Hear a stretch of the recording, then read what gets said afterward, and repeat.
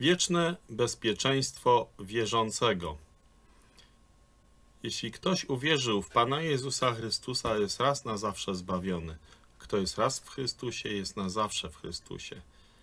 I takim miejscem, które jest niestety używane do tego, żeby podważać prawdomówność Pana Jezusa, bo Pan Jezus powiedział, kto wierzy we mnie ma życie wieczne, a jego wrogowie używają nawet Pisma Świętego i diabelskiej strategii, która brzmi, czy rzeczywiście Bóg powiedział, że kto wierzy w Jezusa ma życie wieczne. To jest pierwsze diabelskie zapytanie skierowane do człowieka w nowej formie. Każdy utracalnik ustami swoimi udostępnia diabelską narrację, gdy pyta, czy rzeczywiście Jezus powiedział, kto wierzy w Jezusa ma życie wieczne. Hebrajczyków 10:26 Albowiem jest, jeśli samowolnie, albowiem jeśli samowolnie grzeszymy, otrzymawszy poznanie prawdy, nie zostaje już ofiara za grzechy, ale niejakie straszliwe oczekiwanie sądu i żar ognia gotowego pożreć przeciwników.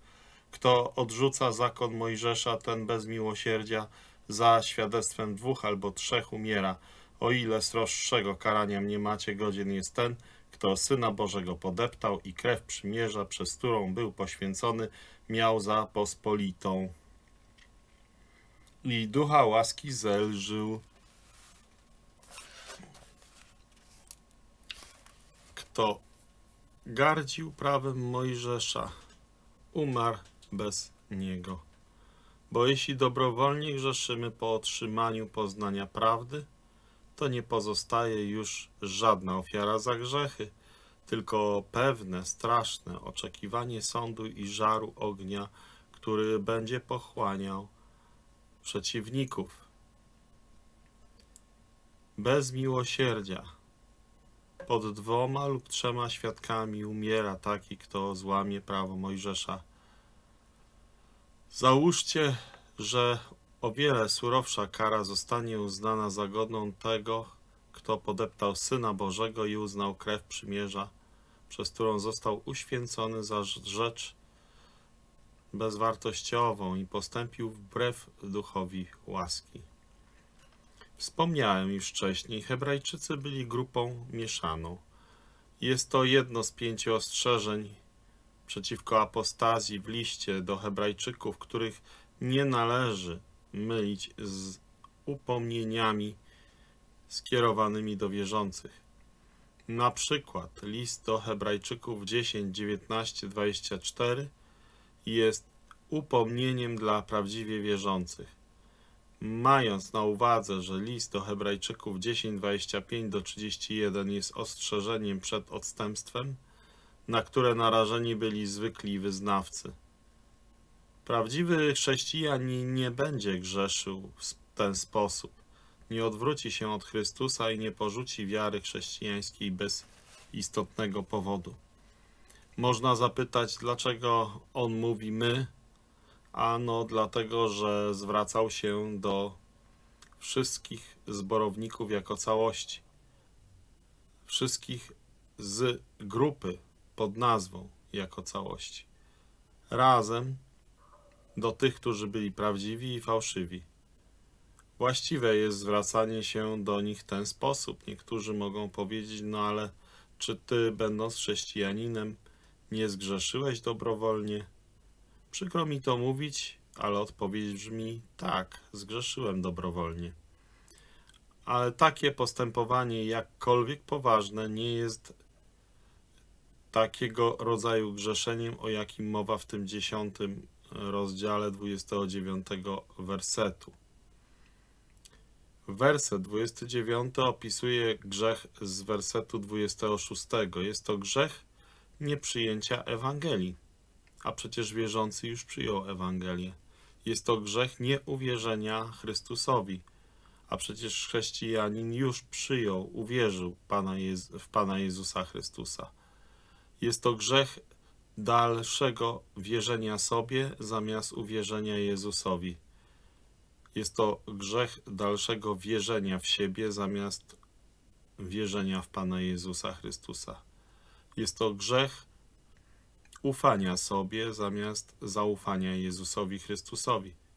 A więc jest to grzech odwrócenia się od Chrystusa i całej wiary chrześcijańskiej i porzucenia jej, aby powrócić do judaizmu lub innego podobnego systemu, bez skorzystania z praw dawanych przez Ewangelię, a więc bez skorzystania z doskonałej ofiary Pana Jezusa Chrystusa. Prawdziwy wierzący tego nie zrobi, bo już przyjął Jezusa Chrystusa jako Pana i w nim chodzi. Zwróć uwagę, że ta osoba nie jest powiedziane, że otrzymała zbawienie, ale jedynie, że otrzymała poznanie prawdy i się od tej prawdy odwróciła. Właśnie dlatego, że to było przed uwierzeniem i nigdy do uwierzenia nie doszło. Zdobył tę wiedzę dzięki Ewangelii. Istnieje jednak różnica między poznaniem a wiarą w Ewangelię. Ponadto mówi to Słowo Boże takim ludziom, że powrót do systemu zakonnego, prawnego byłby bezużyteczny, albowiem pod tym systemem nie pozostaje żadna ofiara za grzechy, ponieważ pod zakonem nie było ofiary za zuchwałe grzechy, lecz jedynie za grzechy niewiedzy. Jak widzimy to na przykład w Księdze Licz 15, 30 do 31 albo w Kapłańskiej 4.2.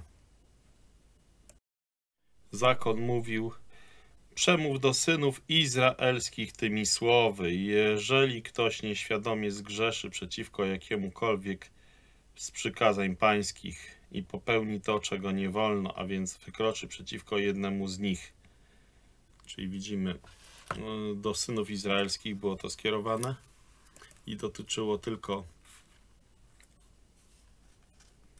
grzechów nieświadomych Natomiast nie było miejsca na mówienie o przebaczeniu grzechów świadomych.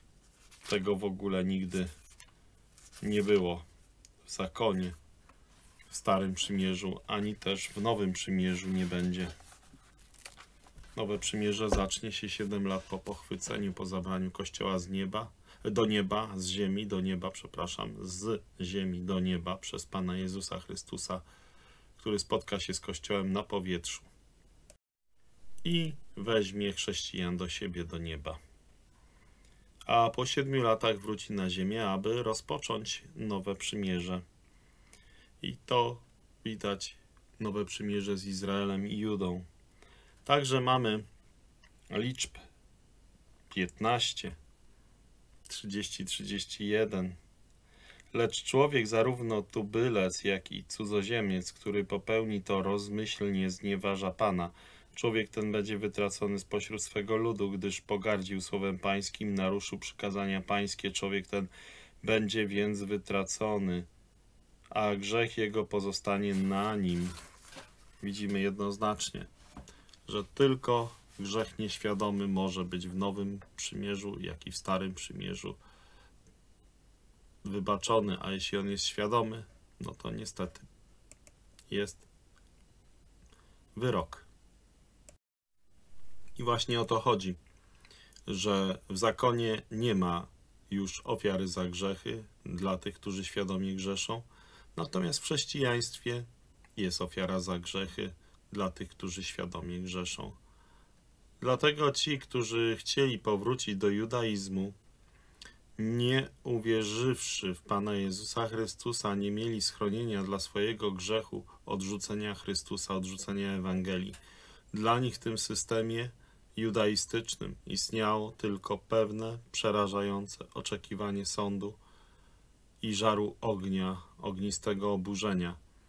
W kolejnych wersetach 10 rozdziału listu do Hebrajczyków, czyli wersetach 28 do 31, Autor listu do Hebrajczyków, apostoł Paweł, pokazuje, że grzeszenie przeciw łasce podlega o wiele gorszej karze niż grzeszenie pod prawem. Ten, kto zlekceważył prawo Mojżesza, umarł bez miłosierdzia, albo miał umrzeć bez miłosierdzia. Czy może być coś bardziej przerażającego? Tak, może być grzeszyć przeciwko łasce. Jakież to było straszne ostrzeżenie dla tych, którzy zamierzali odstępować od łaski, nie skorzystawszy ze zbawienia w Jezusie Chrystusie. Ktoś mógłby powiedzieć, ale tam jest napisane, że ta osoba była uświęcona. To tylko kolejny przykład tego, jak z góry przyjęte błędne terminy teologiczne utrudniają nam zrozumienie prawdy. Poświęcony w Piśmie Świętym nie zawsze oznacza, odnosi się do osób zbawionych. Istnieją co najmniej trzy aspekty uświęcenia. Istnieje absolutne lub pozycyjne. Absolutne uświęcenie i pozycyjne uświęcenie. I są wszyscy wierzący w pozycyjnym uświęceniu, będąc oddzielonymi dla Boga. I o tym przecież mówi nam pierwszy list do Koryntian, 6 rozdział, 11 werset.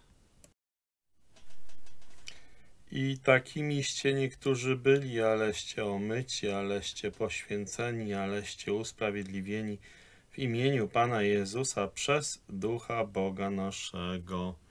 A także drugi Tesaloniczan 2,13. Drugi Tesaloniczan.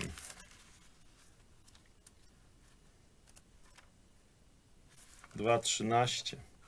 Lecz my powinniśmy Bogu zawsze dziękować za was, bracia umiłowani od Pana, że was Bóg od początku wybrał ku zbawieniu w poświęceniu ducha i w wierze prawdy. A także 1 Piotra 1:2. Pierwszy list Piotra, pierwszy rozdział, drugi werset.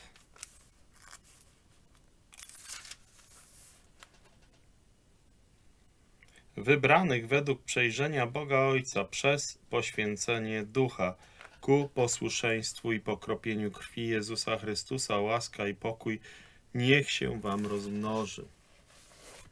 Następnie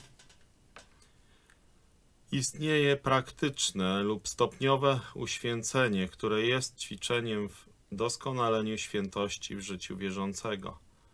Jak mówi nam zresztą Ewangelia Jana 17:17. 17. I to w Ewangelii Jana 17:17 17 mamy wyraźnie zakomunikowane.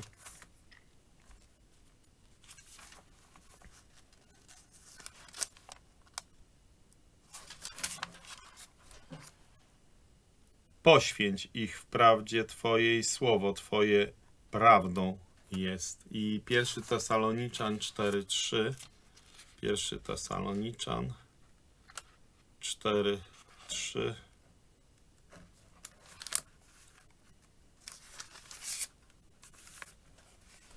Albowiem to jest wolą Bożą poświęcenie wasze, żebyście się powściągali od wszeteczeństwa aby każdy z Was umiał zachowywać naczynie swoje w świętobliwości i w poszanowaniu. A także tenże pierwszy Tesaloniczan 5:23. A sam Bóg pokoju niech was w zupełności poświęci, a duch wasz cały i dusza i ciało niech będą bez nagany przy przyjściu Pana naszego Jezusa Chrystusa zachowane a także Efezjan, 5 rozdział, 26 werset. Aby go poświęcić, oczyściwszy kąpielą wodną przez słowo. Istnieje również uświęcenie względne lub zewnętrzne, które ma być ustanowione na zewnątrz, w czystym miejscu, na ziemi, związane z przywilejami chrześcijaństwa Zająć miejsce wśród chrześcijan oznacza być uświęconym zewnętrznie i to jest wyraźnie pokazane. Na przykład krew wymieniona w Mateusza 26-28, albowiem to jest krew mojego, to jest krew moja Nowego Testamentu, która się za wielu wylewa na odpuszczenie grzechów. a także Hebrajczyków 13:12. Hebrajczyków 13 rozdział, 12 werset.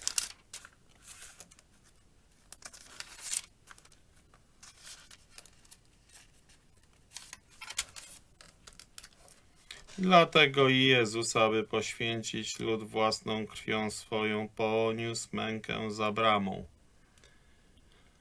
Nie odnosi się to do żadnej życiowej pracy w duszy.